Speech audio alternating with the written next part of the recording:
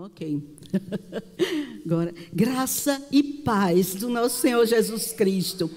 Esta é sempre a saudação. E todos os lugares por onde eu vou. E hoje de uma maneira muito especial, né? Graça e paz do nosso Senhor Jesus Cristo. E por muito tempo eu ficava pensando, por que o apóstolo Paulo resolveu é, ou não é resolveu, mas no coração dele chegou para terminar todas as cartas dele com graça e paz no Senhor Jesus Cristo. E às vezes ele começa também as cartas com graça e paz. É graça e paz para começar, graça e paz para terminar. Por quê? Porque essa é uma palavra central. É uma das palavras centrais, mas não é palavra. É uma das realidades centrais do nosso relacionamento com Deus. Vem de Deus a graça dele. É um atributo inerente a ele da forma como a graça se manifesta. Graça é usada para é, realeza.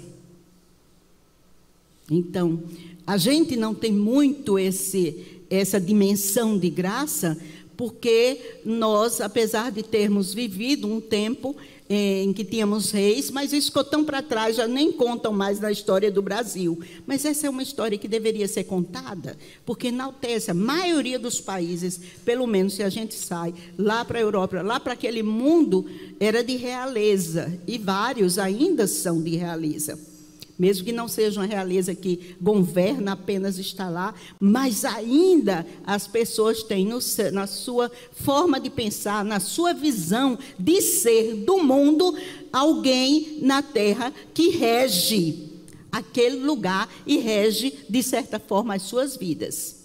Tem alguns que são tiranos, que ainda existem hoje. Então, nesses países é muito fácil entender a palavra graça. Porque esses reis operam com alguma alguma parcela de autoridade sobre as vidas das pessoas.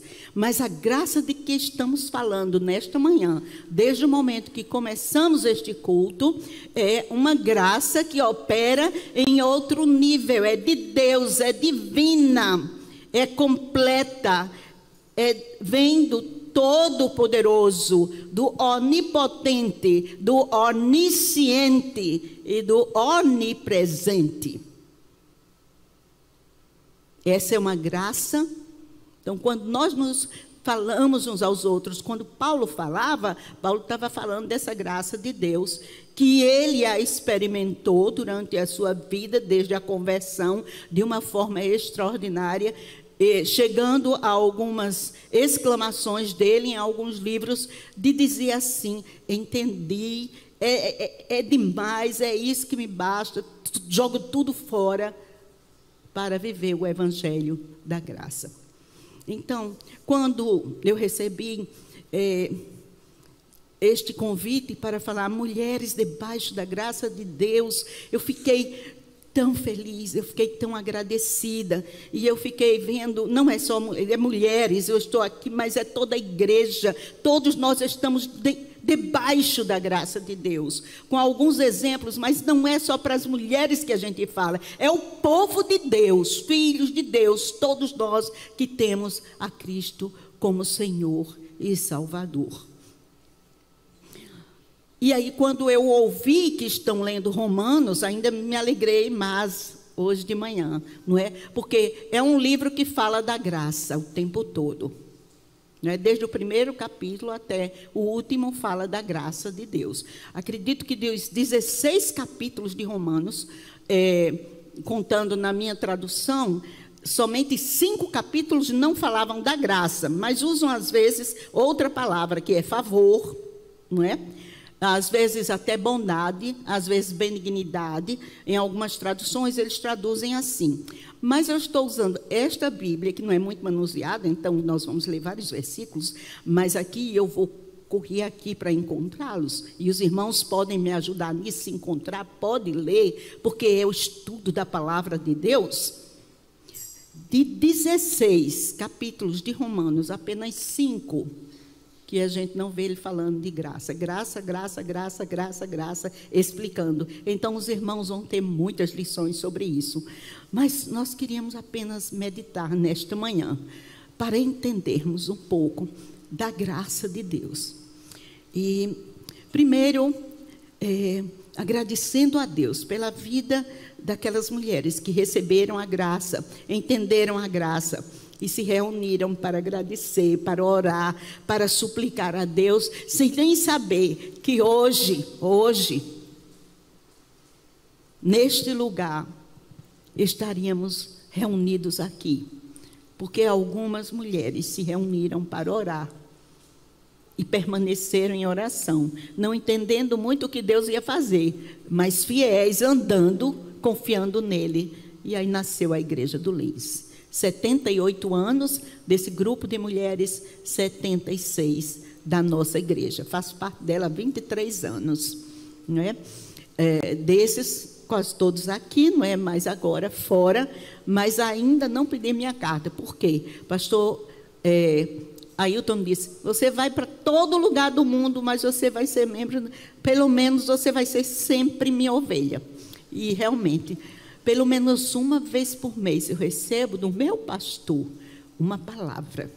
Ele pastoreia as ovelhas. Eu acredito que isso é realidade para é, vocês. Talvez com muitos irmãos agora, a igreja crescendo, é quase impossível isso, né? Mas como ele faz, como ele conhece, como ele cuida. E a família maravilhosa que a, me adotou. Graças a Deus, temos muito para agradecer tema mulheres debaixo da graça de Deus. E o versículo escolhido em Romanos 6, 14. Porque o pecado não terá domínio sobre vós, pois não estáis debaixo da lei, mas debaixo da graça. E eu acrescentei o 18, porque é uma, um complemento. E libertados do pecado, fostes feitos servos da justiça. Fomos libertos, mas temos um novo Senhor. Fomos libertos de um Senhor maligno, malvado. Porque senão estamos debaixo do reino de Deus, estamos no reino das trevas. Só existem esses dois reinos operando. Um que opera neste mundo e o reino de Deus, estabelecido nos corações daqueles que o seguem. Esse é o reino de Deus. Obviamente que quando nós estamos pensando quem nós somos, quem nós somos, como devemos viver, como devemos ser em nosso em nosso ser, em nosso cerne, nós temos que buscar na palavra. Porque apesar de sermos humanos, é ainda o, o pecado não tem mais domínio sobre nós, mas ele ainda está, o, estamos o tempo todo sendo tentados a pecar, a escorregar, a cair. É o tempo todo, é o tempo todo. Os hinos cantados falaram disso, não é? Então, por que a graça? Quando a gente pergunta o que é graça, quantas vezes eu já ouvi mensagens aqui mesmo, meu pastor falando, nosso pastor falando sobre graça, e todos nós sabemos, é um favor, a gente diz assim, favor imerecido, né? É um favor imerecido, um favor que a gente não merece. Mas quando a gente usa essas palavras, favor, a gente tem esse na mente da gente, na nossa visão de mundo, na nossa cosmovisão, a gente tem assim: ah, é um favor. Eu peço um favor a alguém, aí eu digo assim: olha, eu nem posso te pedir esse favor, ou seja, eu nem mereço pedir, mas eu vou pedir assim mesmo. Você pode fazer? A gente tem essa dimensão, mas favor imerecido, quando a gente diz graça, isso não explica completamente o que é graça. Ah, o apóstolo Paulo falou que é dom gratuito. É uma dádiva, é um presente gratuito, mas é um presente que a gente não poderia receber de ninguém mais, em nenhum lugar do mundo. Ninguém, nem, nos, nem no universo invisível, nem visível, pode dar a graça que Jesus oferece. E é disso que estamos falando. Porque ela origina-se no caráter de Deus, nesse Deus que eu já falei, uh, um pouco da, dos é, atributos dele, que são deles e que é só dele, não são compartilhados. Alguns ele compartilha. Ele colocou em nós o amor, somos misericordiosos, porque Deus tem compartilhado alguns desses atributos dele, mas a onipotência, o ser onipotente, que pode fazer tudo e está sobre nós, domina sobre nós e sobre todo, tudo que existe, é só Deus. Ah, em Êxodo, no capítulo 32, se vocês quiserem, podem ir abrindo a Bíblia, sejam como os bereanos, né? Os bereanos então estavam aí cuidando.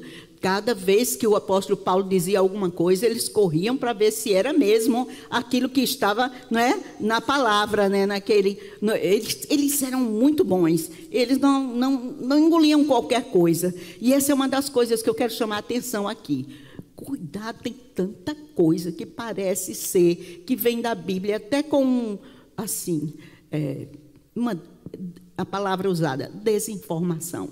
Um pedacinho de verdade, mas junto com outras coisas que são humanas. Cuidado, olhem na Bíblia, verifiquem, antes de engolirem, antes de deglutirem, antes de assimilarem para as suas vidas. Cuidado.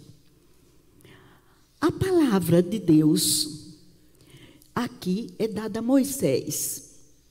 Nesse texto de 12 a 17 do capítulo 33 de Êxodo, Êxodo 33, de 12 a 17, por cinco vezes aparece a palavra graça. Apesar de não ser a primeira vez, porque a primeira vez que aparece a palavra graça na Bíblia é Deus dizendo que Noé achou graça. Se você está com a Bíblia aqui, que, nossa Bíblia, a Bíblia que o Lins é, publicou, tradução é, dela, diz, não é publicou, ela fez especial, né? não é publicação. É, então, é, diz outras palavras, mas eu estou com a Bíblia, é, essa Bíblia que Lins, eh, nós temos, é, e diz exatamente isso. No capítulo 6 de Gênesis, no versículo 8, diz: E Noé achou graça diante dos olhos de Deus. Noé era um homem perfeito? Não, não era. Não era. Uma família perfeita? Não, não era. Nós sabemos o que aconteceu depois do dilúvio, não é? Mas Noé, ele acreditava em Deus. E ele seguia a orientação de Deus. E por isso Noé achou graça, essa graça de Deus. Mas aqui Deus se revela a Moisés com os seus atributos e ele fala de graça para Moisés. Moisés acaba de descer do monte com as tábuas da lei e quando chega lá os as pessoas estão adorando um bezerro de ouro que fizeram. Moisés fica tão indignado, quebra as tábuas da lei. E então ele vai conversar com Deus. E Deus diz: Vou acabar com esse povo. Eu não vou mais andar com esse povo. Eu não ando mais. Eu vou mandar um anjo para andar com vocês. Aí Moisés, Senhor, se o Senhor não estiver conosco, a gente não sai, de, sai daqui, não. Eu não saio, não. Como é que eu vou sair com essa multidão? guiar essa multidão sem ter o Senhor junto de mim. Uma completa é, compreensão que Moisés tinha naquele momento de que Deus era aquele com quem ele precisava andar. E aí diz assim o texto: E Moisés disse ao Senhor: Eis que tu me dizes, fazes subir este povo, porém não me fazes saber a quem has de enviar comigo. E tu disseste: Conheço-te por teu nome, e também achaste graça aos meus olhos.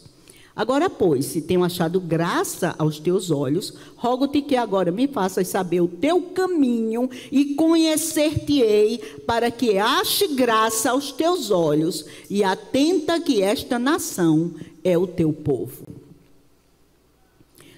Disse, pois, aí é Deus, né? Irá minha, a minha presença contigo para te fazer descansar. Cantamos sobre isso. Que precisamos confiar em Deus para a gente descansar. Para a gente ficar em paz no meio das lutas, dos problemas, das dificuldades, das situações não resolvidas. Moisés disse: Eu preciso de ti para descansar.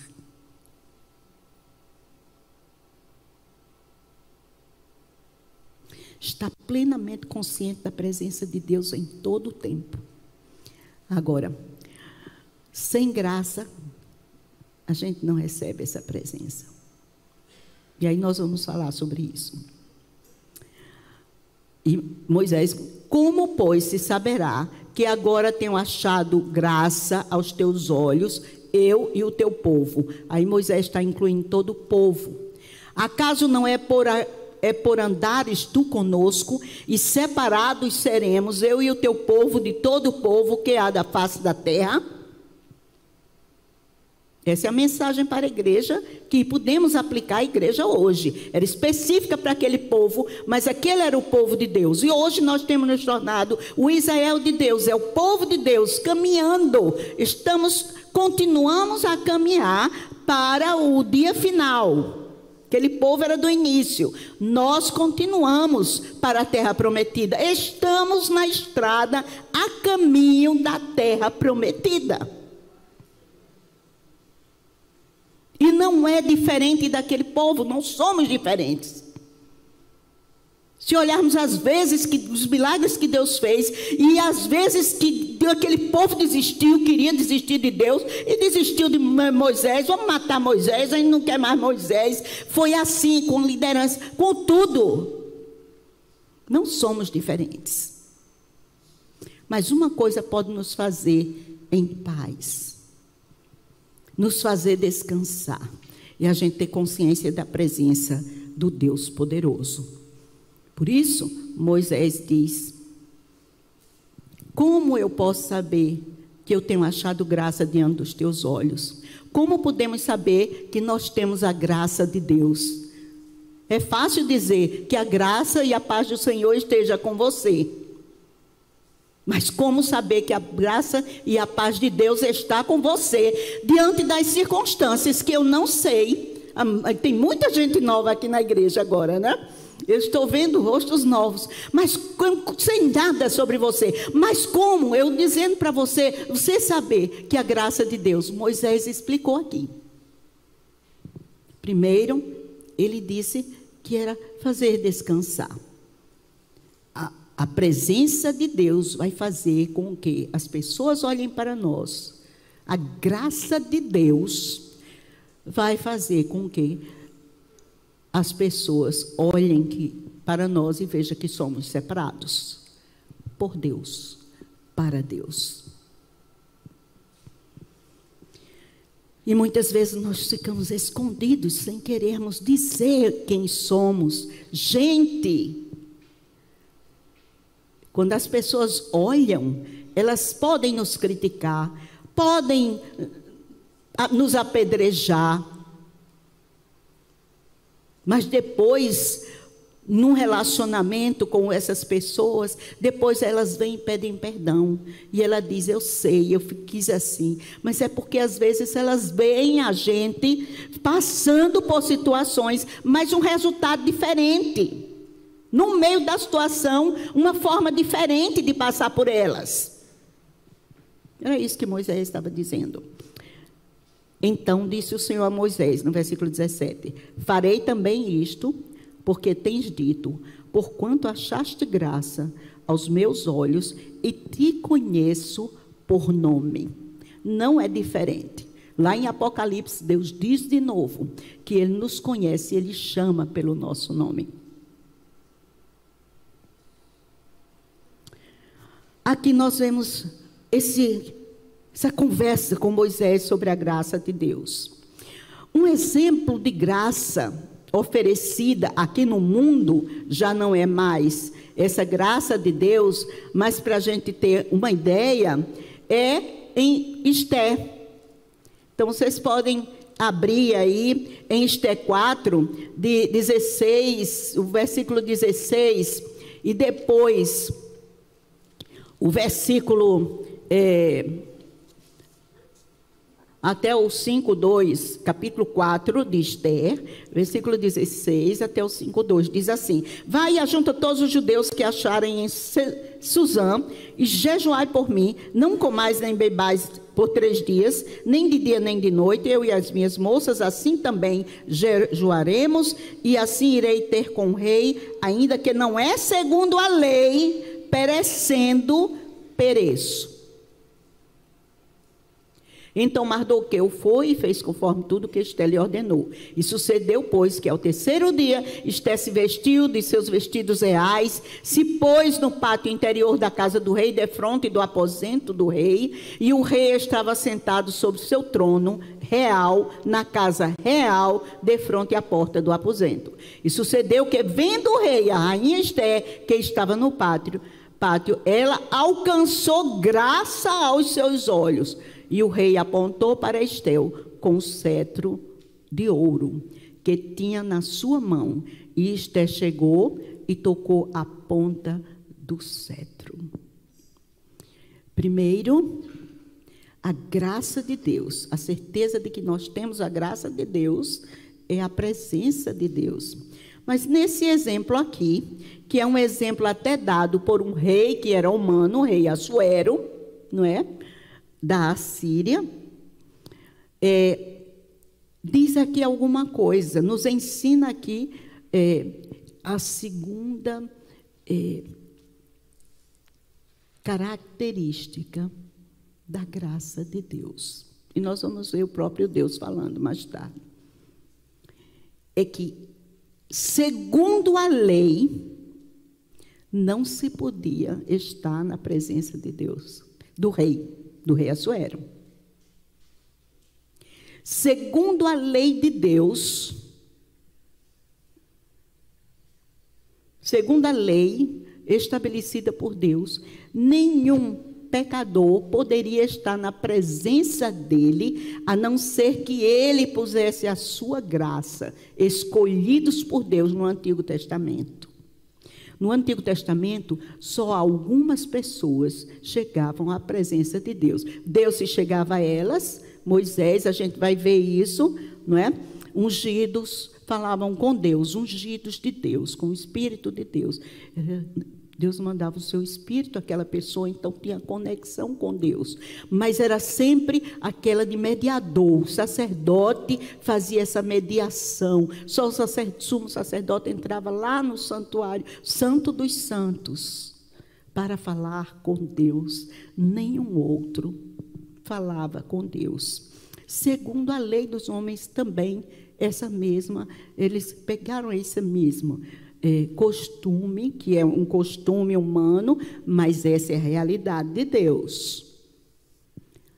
Mas aí, Esté disse: Eu sei que eu vou quebrar uma lei.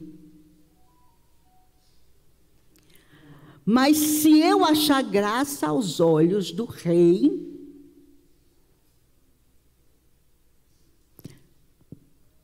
eu vou receber o pedido eu vou ter vida, senão eu vou morrer. Graça, definição de graça, é isso aí. Deus nos dá o que não merecemos. Primeiro é a presença dEle. Em segundo lugar, é Ele dar o que não merecemos. A lei nos diz que estamos, o salário do pecado é a morte. Mas o dom gratuito de Deus, que é a graça de Deus, é o quê? A vida eterna em Cristo Jesus. Ou seja, não merecíamos. Estão entendendo agora o que é favor? Não merecíamos nada de Deus, muito menos o perdão de Deus. Mas a salvação em Cristo Jesus é o Rei do universo, estendendo o cetro para nós. E no caso de Jesus, não foi um cetro. Até colocaram um cetro para ele. Mas bateram com aquela mesma vara nele. Ele até tinha uma coroa. Mas naquele momento em que ele estava pegando os nossos pecados, todos, haviam colocado uma coroa nele, mas a coroa era de espinhos.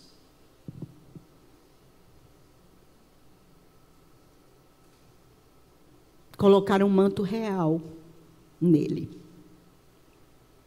Porque as escrituras se cumprem. Aqui estava o rei, mas eles estavam zombando. Ele era de fato o rei do universo. Mas aquele, o mundo estava zombando, como continua zombando de Deus de forma horrível, as abominações, as apostasias, tudo que está acontecendo, eu já nem vejo mais quando me mandam uma apostasia, porque são coisas cada vez piores, né? Mais aberrantes contra o Senhor Jesus Cristo. Fizeram isso naquele momento em que ele estava sugando os meus pecados, os seus, de toda a humanidade, desde o início até o dia último. Deus sugou, Jesus fez assim, eu digo assim, shh, para ele todos os pecados e ele levou da cruz. Por isso que ele suou gotas como que de sangue. Ali ele estava recebendo o meu pecado e o seu.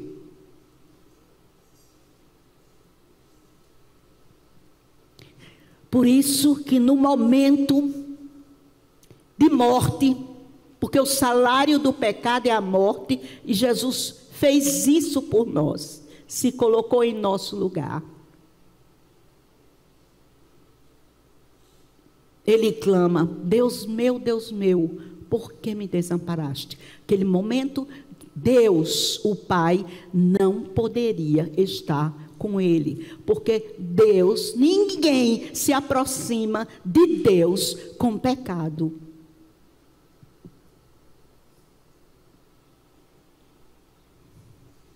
Deus não anda com o pecador. E todos somos pecadores. Mas a ressurreição de Jesus, a vitória sobre a morte, Jesus Cristo diz: já paguei o preço. É isso que Colossenses diz de uma maneira tão linda. A nossa dívida, a nossa promissória foi promissória. Alguém vocês sabem o que é promissória? Eu acho que alguns nem sabem, né? Antigamente a gente tinha muito isso, né? Promissória. Era uma dívida que a gente tinha aí para a pessoa que, né, que a gente ia pagar, fazia umas promissórias e a gente ficava com aquilo, né? Era a nossa lembrança. Essa é uma dívida, essa é uma dívida, essa é uma dívida, né? Agora é de outro jeito, os meios eletrônicos, mas era isso. Então aquela dívida foi paga lá na cruz. E então, mesmo não merecendo, pela graça.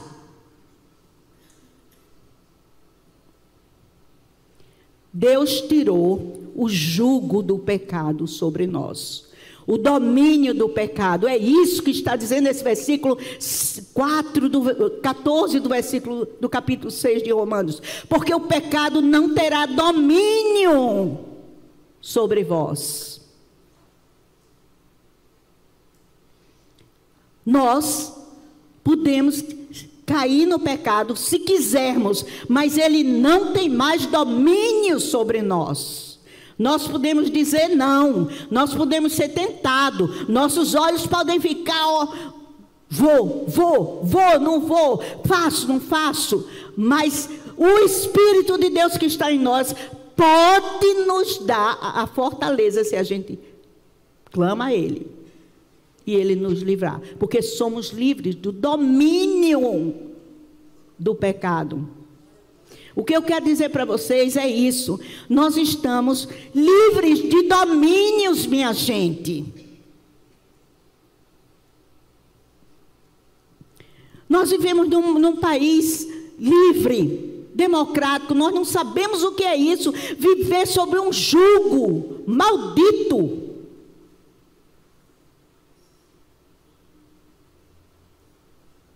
Era isso, era isso como pecadores que nós vivíamos.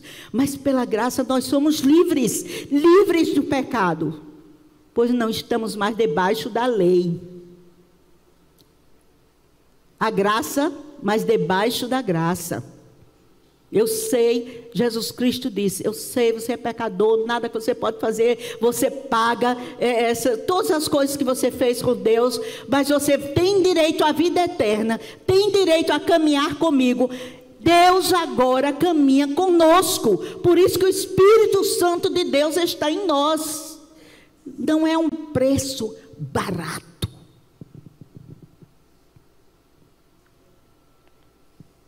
Isso é graça. Graça é o poder de Deus operando para imerecidamente, sem merecermos. Ele nos dá o quê? Nos salvar. Romanos 5, aí vamos para Romanos de novo. Romanos 5, de 12 a 16, nós lemos. Pelo que, como por um homem entrou o pecado no mundo, e pelo pecado a morte, e assim também a morte passou a todos os homens, porque todos pecaram.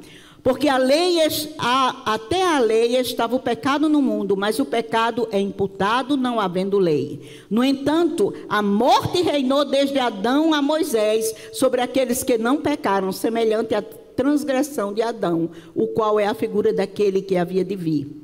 Mas não é assim o dom gratuito como a ofensa. Porque se pela ofensa de um, Adão, não é? Morreram muitos, muito mais a graça de Deus e o dom pela graça, que é de um só homem, Jesus Cristo, abundou sobre muitos. Continua, e não foi assim o dom como a ofensa porque um só pecou. Porque o juízo veio de uma só ofensa, na verdade, para condenação, mas o dom gratuito veio de muitas ofensas para justificação. Quantas vezes você já pecou? Eu quero dizer que eu, todo dia, eu digo, Deus, eu quero te agradar. Quando chega de noite, eu digo, mas Deus. Eu já falei muito sobre essas coisas minhas, é? De Deus. Eu digo, mas Deus, como é que eu faço uma coisa dessas? Como é que eu abro a minha boca para dizer uma coisa dessas? E agora, às vezes, eu abro a boca, nem penso, já falei e já magoei alguém. E já fiz uma coisa que não deveria fazer. Já dei uma espetada em alguém. Aí, quando isso sai tão assim conscientemente, de repente eu digo: Deus, Deus, Deus, Deus, Deus. Na hora eu já peço a Deus para. Deus, não deixe que doa, não deixe que magoe, não deixe, não. Tira esse pensamento, tira essa palavra, tira esse, essa expressão minha. É, é, é assim, não sei com vocês, mas comigo é assim. Não é? Porque eu quero agradar a Deus, eu sei o que Ele fez por mim. Mas olha, é difícil. E em Romanos, em Efésios 2:8 diz: "Pela graça sois salvos por meio da fé. Isso não vem de vós, é dom de Deus. Então a nossa salvação vem pela fé. É isso que eu estou dizendo. Você diz assim, mas como é que eu posso viver essa vida me sentindo livre assim, liberto, livre, leve? É pela fé. Acredite. É pela fé. Acredite. É, pensando, orando, é, de sexta para é, sábado, quase na hora de acordar ontem de manhã, Deus passou essa mensagem aqui num, naquele relance de sonho. Tremendo, foi tremendo, foi tremendo. Meu Deus, é, tantas coisas. Era profundo, porque são imagens e, e experiências. Não vou contar aqui tudo. Mas uma das coisas que me deixou triste foi exatamente não crer na graça de Deus. É, eu disse, meu Deus, minha fé é tão pequena. Porque em uma situação que eu precisava falar com a pessoa que estava no caminho do mal, e eu estava lá falando com ela, e eu fazia, e eu estava com ela, e eu chamei, e tinham duas pessoas que eu encontrei que eram crentes, e, e, e, líderes e trabalhavam comigo, uma trabalhou, outra não está trabalhando. Então eu disse para eles: orem comigo, orem comigo, fiquem orando. Enquanto isso eu estava batalhando com aquela pessoa, aquela pessoa batalhando o mal, dizendo para ela fazer alguma coisa ruim, e eu falando com ela: venha para Jesus, venha para Jesus. Era intensa essa luta. E em meu coração, às vezes eu dizia, eu preciso dessa gente. Daqui a pouco eu procurei os dois, não existia mais. Eu estava sozinha. Eu, Senhor, me dê forças, me dê forças. E eu falando com aquela pessoa, e quando eu terminei, eu não podia deixar de falar da palavra de Deus. Quando eu fechava a minha boca, aquela pessoa queria fazer o mal. E eu ali, eu queria que ela recebesse a salvação. Mas outras pessoas também que queriam fazer o mal, que eu sabia que tinha lá, foram se aproximando e foram ouvindo. Mas eu fiquei sozinha. Até acordar foi a minha luta. Deus não me deixou ver o final daquela história. Mas eu fiquei pensando nos irmãos. Eu digo, como é que eu posso falar isso, Senhor, para os irmãos? Eu não sei como. Mas eu espero, eu peço ao Espírito de Deus que imprima em seus corações a verdade da palavra dele, para nós entendermos que nós temos a graça de Deus, graça para salvar, graça para salvar. Tem alguém que não é salvo ainda e você está orando, creia na graça de Deus, é graça para salvar. Creia. Outra expressão de graça maravilhosa de Jesus, pode ser quem for, foi aquele sonho, foi exatamente com isso. É, no capítulo de João 8, de 1 a 11, nós encontramos a história da mulher adúltera. Quando aquela mulher é trazida para Jesus, ela vem debaixo da lei de Moisés, porque eles disseram a lei de Moisés diz isso. Não tinha como Jesus dizer, não é, porque era sobre adultério. Com todas as questões da lei, tudo cumprida. Encontramos ela em adultério, tal e tal e tal e tal e tal. E o que é que o Senhor diz? Mas Jesus sabia que o coração daqueles que tinham trazido era mal, queriam era incriminar Jesus, queriam fazer, ver Jesus cair numa, num problema. E aí nós sabemos o que Jesus fez. Se você nunca leu esse texto, leia, porque os antigos aqui da igreja viram um egípcio que foi convertido quando leu esse texto pela primeira vez. O que é que Jesus olha para aquela mulher e diz? Depois que ele diz assim: o primeiro que não tem pecado, joga a primeira pedra e todos foram embora. A mulher fica. E Jesus diz: Ninguém te condenou? A mulher não. Jesus diz: Eu também não te condeno. Vais e não peques mais. Essa é a realidade de Jesus. Aqui é Jesus reconhecendo: a lei estava certa. Aquela mulher merecia ser apedrejada. Mas o que é que Jesus faz? A graça dele perdoa aquela mulher.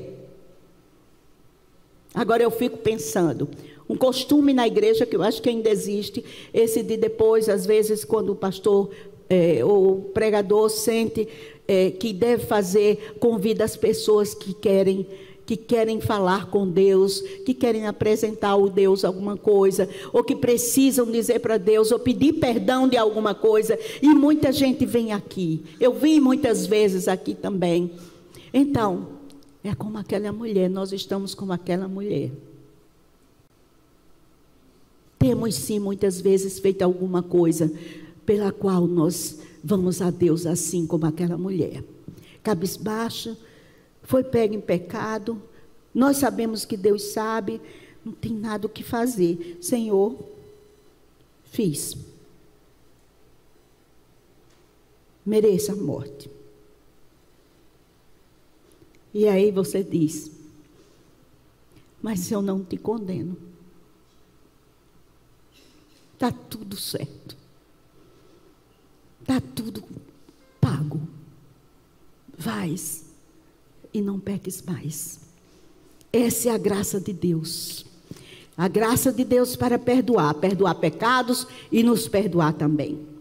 A graça de Deus para restaurar. Eu vou rápido.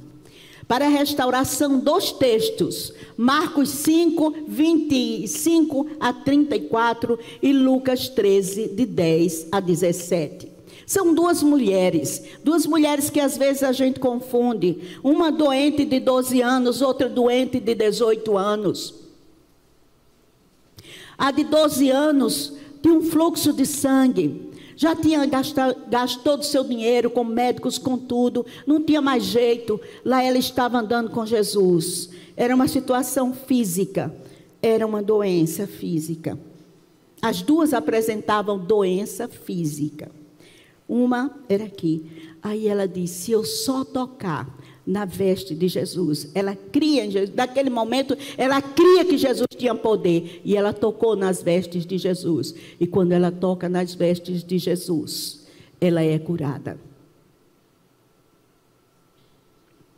A outra mulher, em Lucas 13, é a mulher que, 18 anos, ela tinha essa doença diante de todos era uma doença de, de, de, encurvada. Recentemente eu visitei em Recife uma aluna minha, lá da Casa da Amizade, e ela é crente. E ela está encurvada, ela está encurvada toda torta assim, mas ela anda com uma alegria, vai para a igreja, canta, que é uma beleza, vai nos cultos de oração. Ficou alegre e nós nos reunimos ali na igreja, coisa linda salva pelo sangue de Jesus, torta o corpo, mas ela completamente curada por dentro. Oh, que coisa maravilhosa! É isso, meus amados irmãos, que a graça de Deus faz. É isso que nos faz diferente do outro, dos outros. Estamos aqui na terra, sofremos, temos problemas, temos doenças, mas a nossa, nosso interior é liberto. Nosso interior tem a graça de Deus. Nós sabemos que estamos caminhando com Ele. Se Ele quiser, Ele nos cura. Se não, Ele segura na nossa mão e diz: Com você eu vou e vou mostrar mostrar para todos que você está leve. Eu estou levando o teu fardo, você está levando o meu, estamos juntos. Segura aí, porque você é testemunha. É testemunha, as pessoas vão perceber que eu estou com você. Mas por que não cura? Não curo porque tem os meus propósitos. Mas creia em mim. Isso é graça, é uma vida vivendo na graça, cheio da graça, superabundante graça. Graça de Deus é o poder de Deus operando imerecidamente para restaurar. Restaura o corpo. Essa segunda mulher de 18 anos, toda encurvada assim. Jesus estava da sinagoga no sábado. Ela está lá, Jesus olha para ela, vê a situação. Todo mundo já fica, será que ele vai curar no sábado? Será que ele vai curar no sábado? Jesus Cristo chama a mulher lá para frente e cura a mulher. Aí todo mundo, é? Curou no sábado, curou no sábado. Muitas tradições nossas impedem da, da obra de Deus em nossas vidas. Cuidado com as tradições. E aí Jesus olha para aquela mulher, olha para eles e diz assim: Vocês vão, antes de chegar aqui, vocês dão comida aos seus bois. E eu não teria compaixão desta mulher, que há 18 anos ela é escrava de Satanás. Doenças físicas, com origem no espiritual. Eu vou deixar por aqui.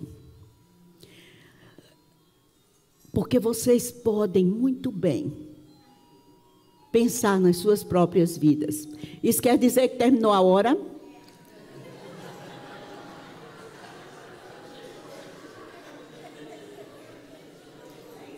Gostei dessa, viu? Não tem como. Graça é o poder de Deus operando para fortalecer. Eu daria muitos textos, mas aí ele vai, ele fica tocando até terminar.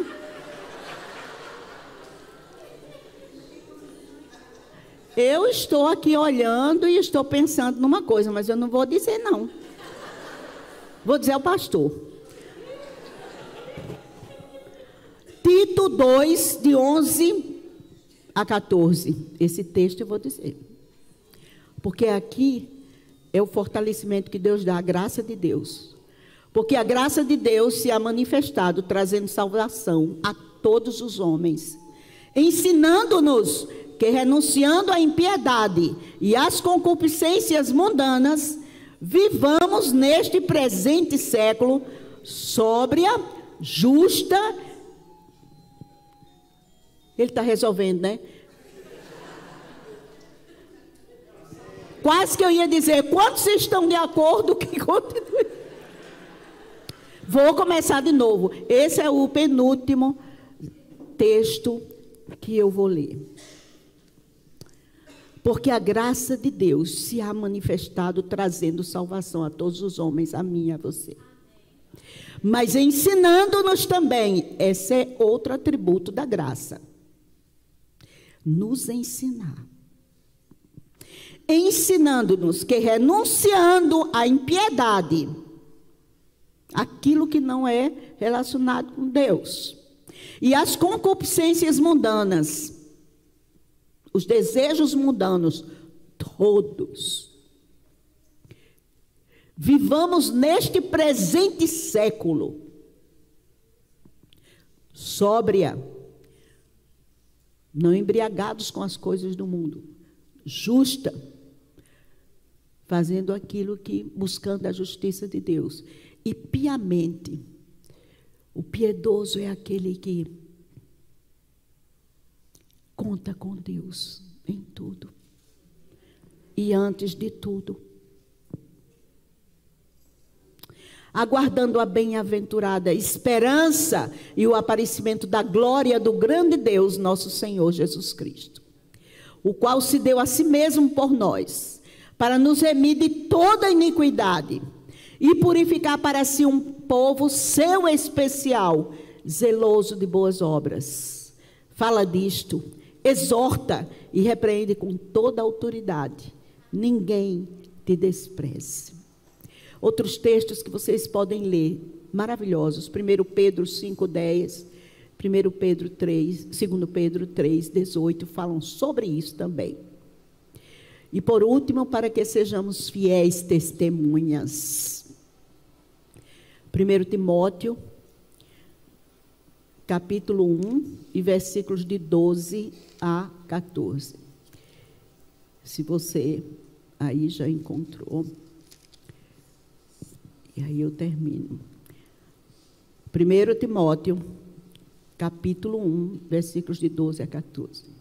E dou graças ao que me tem confortado, a Cristo Jesus, nosso Senhor, porque me teve por fiel, pondo-me no ministério, a mim que danço e blasfemo, e perseguidor, e opressor, mas alcancei misericórdia, porque eu fiz ignorantemente na incredulidade. E a graça de nosso Senhor superabundou com fé e o amor que há em Cristo Jesus. Esta é a minha oração para os irmãos. que a graça do Senhor superabunde com fé e com amor que há em Cristo Jesus. Mas Paulo, com tudo isso que falou, ficou falando com Deus. Deus, tira essa, esse espinho na carne. Deus, tira esse espinho na carne. Chegou um dia que Deus disse: Como? Basta. Ele diz: Basta, pode dizer, pode dizer. A minha graça te basta, porque o meu poder é aperfeiçoado na sua fraqueza. Então vamos dizer para Jesus agora: Senhor, a tua graça me basta, porque eu sei que o teu poder na, para usar a minha vida se aperfeiçoa na minha fraqueza. Esses são os paradoxos de alguém que pode fazer tudo, o impossível nosso amado Deus. A graça de Deus nos basta. Amado Jesus, faz com que todo o teu povo aqui presente sinta a tua graça em seus corações, operando poderosamente para salvar, para fortalecer, para livrá-los do mal e para fazê-los testemunhas tuas, até que estejamos indo para ti, ou que tu estejas vindo para nós, para nos buscar. Esta é a oração que faço a ti, ó Deus eterno, soberano, no nome de Jesus. Amém. Muito obrigada por ter tirado esse. Queridos, a graça e a paz do Senhor para todos vocês.